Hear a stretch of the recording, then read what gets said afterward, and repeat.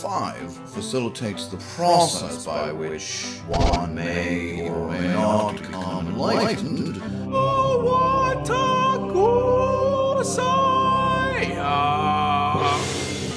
You see, the process of enlightenment cannot be rushed. Done Vipassana training, Datin training, African firewalking, sweat lodges, burial rituals. I'm definitely ready to do oh, life. Oh, wait, wait, wait, wait. Now, now the five is spreading some good knowledge. It is a forum. It is a series of steps. Level 1. Realize you are worthless and meaningless. Who's your smack daddy? Level two, realize you are not your feelings or your emotions. Have you ever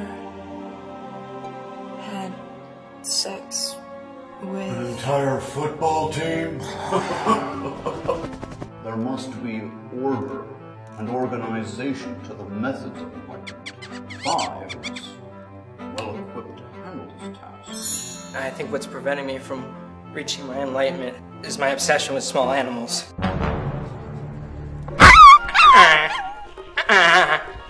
You got some serious issues. Jason. My name is Frank. What's keeping me from enlightenment? It's my wife. What are we going to do without the helix? I can't take another day of the five without it. The Helix threatens to bring down an organization that we have spent years and years developing. That is why the Helix must not get into the open market. Will somebody please tell me why we are messing with these people? We've got a job to do.